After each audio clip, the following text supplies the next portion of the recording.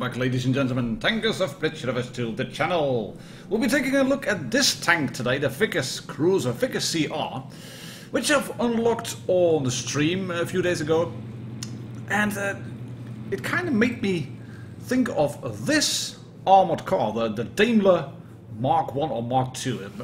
It's, if you, just look at the turret, it resembles that tank.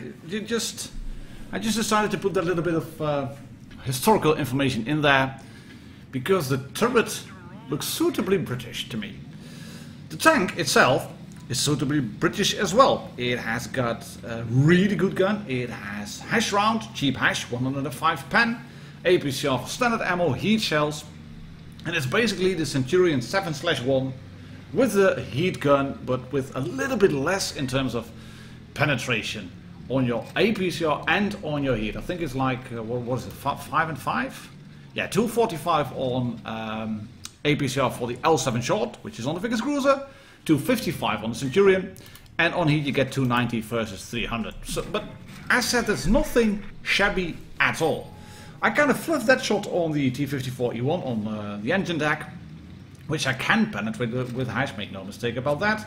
And here's the 10 degrees. The gun depression uh, put to good use. Going to shoot the T54E1 again. And this is actually a stream highlight. So if you are interested in, in, in streams uh, of me, do hit that sub subscribe button, click the bell, notification, and uh, you'll get notified when I have a new video out or a new stream coming up. Back to the figures. I think it's a really good tank. I think it might actually be a little bit overcooked because I've seen screenshots of 1474 base XP games being only a second class medal currently. Yes, that's correct, a second class for 1474 base XP in tier 9. Why is this tank then, in my opinion, a little bit overcooked? Well, it basically has everything you need in World of Tanks Blitz currently, which is DPM, mobility, and just uh, all-round great firepower. You, can see I've, a shot from uh, the uh, Scorpion G, switch to HE, shoot him again. I'm quickly moving away as well because I had already noticed that the waffle was in the back. And you can just relocate towards the other side of the map really quickly. It, it reminds me of, of the T92E1 being introduced early on in the game while I tried to... I was trying to to lead the shot on the waffle, hoping that he would move forward, but you see he did not, so we're gonna shoot him here. Yes, thank you. There we go. 362 on the side. We've done 2k damage already. We've lost two tanks on our team as well, but apart from the little ramp on the Scorpion, I did not lose any hit points. And after this game, we'll have a quick look at uh, at uh, the comparison between the Vickers CR, the T92E1 with both of the guns and the, the Batchat 25T AP. But it's fair to say that this is this is a really good tank. Wargaming have said in their advert, like any true light tank, the Vickers Cruiser does not have uh, armor. I beg to differ. It it has got some armor. The front is only 76 millimeters on um, on paper, but it's angled backwards, so you can uh, you can get it up to like 200 in terms of effective thickness. Turret is 175 but it's again angled towards the side, of the cheeks left and right, and you do have a gun mantlet. And we're going to talk uh, a little bit about the side arm of the hull as well later on after this uh, video and after we've done the comparison, because there's a little, just one thing, there's a bit of a theme with that side armor, and the, the, the theme is a number, and the number shall be one. There's one thing that's really important with the side armor. While rolling around the Chieftain T95, hello, HESH up the air, thank you very much and roll around uh, the pillars here on Hellas. Uh, we're going to try to uh, to get the kill on the E75. And if you've seen the stream already, you know what's going to happen here. I have adrenaline running, gonna shoot him once, here we go, 352, gonna shoot him again. I have no idea where this shot penetrated to be honest, but that one hit, and then I'm going to reload, 3 seconds, 2 seconds, and... Uh, 0.6. was a first class and a high caliber. Had I killed that E75, this would have been a sure mastery. And this was a first class with 13 on base XP and as said 1474 is now a second class. Um, let's compare the tanks. let's hop into Blitzstars. And we won't be hopping around here too long because uh, you can look up all these stats in, in the game. But what you can see with all these tier 9 the light tanks are knocking about, you have the best DPM, you have the best penetration on uh, the tank, you have the best gun handling, it's even better than the Centurion Mark 7-1 and you do have light tank camo rating except for dispersion that is uh, worse compared to the Centurion uh, 7-1 but it's far better than the uh, T92E1 with the big gun. And yes that has 560 in terms of, uh, of firepower both on, uh, or not both, on, on APCR 490 on its heat but your rate of fire is just way better. If, he misses a shot or might bounce or catch you, you would catch it on the tracks. That means that you will be able to basically hit him three times and just punish him. And he's got a 152 millimeter gun. Make note of that, 152 millimeters. Um, in terms of movement and mobility, it's uh, yeah, it is it's really good. It's not the best one. The T92E1 still is the best one, but effective power to weight ratio is good. It's that's that's a bit of the trade-off. You have the brilliant gun, and you have the worst mobility. But the Traverse is good, the camo rating is good, it's not as good as the Batchat, but it's better than the T92E1. So all in all, I think these tanks are really well tied in terms of performance. The Vickers gets the gun, gets the view range, the Batchat, the T92E1, they get the mobility. Remember what I said about the sidearm? I mean, I mean, this is the armor profile, this is the turret, space armor on the gun mantle, 76 on the front. But these these sides, the side sidearm is 51, and that's not a lot. And uh, the rear is 38, that's even worse, as you can see. But this side sidearm is 51 millimeters.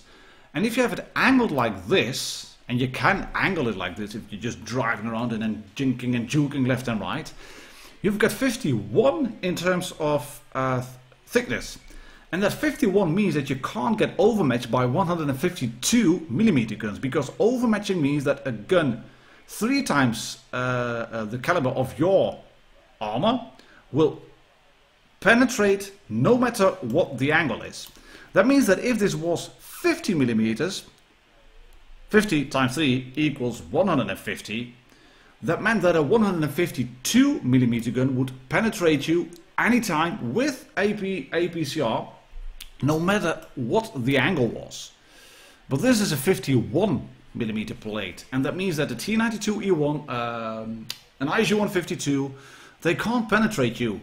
A 155 can, but a 152 can't. And of course these big guns will penetrate you on basically any spot of the tank. Um, if they aim properly and if the angles, if they have the angles correctly. But Godfishy from the Kudos clan, who's in the Vickers CR, is gonna gonna show us uh, what this armor can do, and he's going to be a little bit lucky, of course, because you have to little, have to have a little bit of luck in those uh, circumstances. But it's got to be uh, that that 51 millimeters of armor is going to be instrumental in this game. I'm gonna gonna show you uh, gonna show you what I mean with that. First things first, he spotted the waffle. He's gonna shoot the waffle. The waffle has a dead commander. He is spotted. But Fishy is just sitting in this spot at Alpenstadt and I, I never quite went to this spot to be honest. I found this one interesting because you can counter the snipers that are there. Hello, he's still over there, 407. Not spotted because that Wolfer has a dead commander and he's spotted now because of the uh, chat. And he's gonna shoot him again because of the gun. It is, as said, it is a brilliant gun. Trying to put some pressure on the T-49, shoot that one in the back with a HESH round as well, and he's up to 1700 damage already within one minute of the game. This gun is glorious. Moving forward, APCR on the side of the T-54E1. And they've basically won this flank. They've captured A, the T-54E1 is down, the Waffle is nearly dead, just apart from just one shot needed. But they have to make pressure towards Cap C because that flank is going to fall. There's a waffle, there was a waffle, there's now an axe waffle. And Fishy is not in harm's way. You could start saying, well, you're just showing a game where, where the enemy team is Muppets and this is very easy, Martin, and just uh, this is uh, this is not epic gameplay. Well, just hold on to your horses. It's got to be just fine and dandy. Because the FV301 on his team is getting shot, and Fishy is uh, maneuvering around, setting up the tank, gonna shoot the IS-6 and then just track him in place. and that's what happens.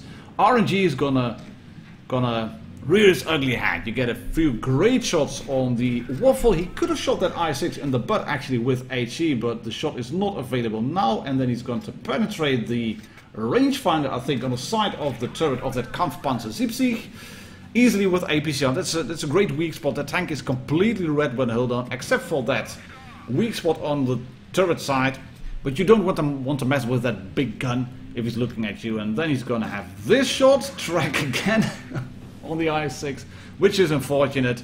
RNG rearing his ugly head. And then RNG giveth and taketh and says, yes, you can penetrate and you will bounce on your tracks. 400 damage. Let the blocking fiesta begin. Uh, APCR through the front of the IS-6, no problem whatsoever. No questions asked. IS-6 is down. This is uh, this is looking looking good. I mean, it's two versus three. You should be able to uh, to clear a tank. Hopefully, shoot the Kampfpanzer again, and it's now one versus three. And you could start running away.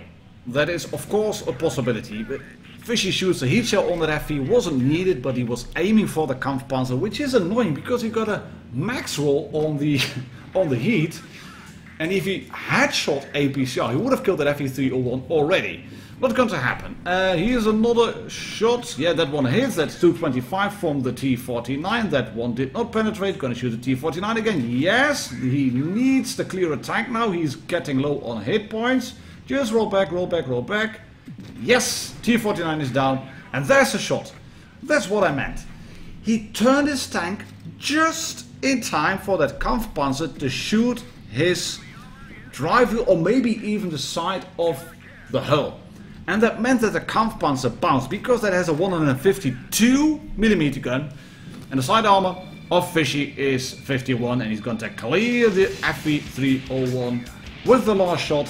He would have been able to survive just one more shot from that FV but a great little game here in the Vickers Cruiser. 5660 damage dealt and a steel wall in a light tank. Because like a true light tank, this tank has no armor. Thank you very much, buddy, for sending this one in to me. I hope you've enjoyed this review. Ladies and gentlemen, tankers of Blitz Universe. My name is Martin Dogger. I catch you all tomorrow. Cheers. Happy tanking.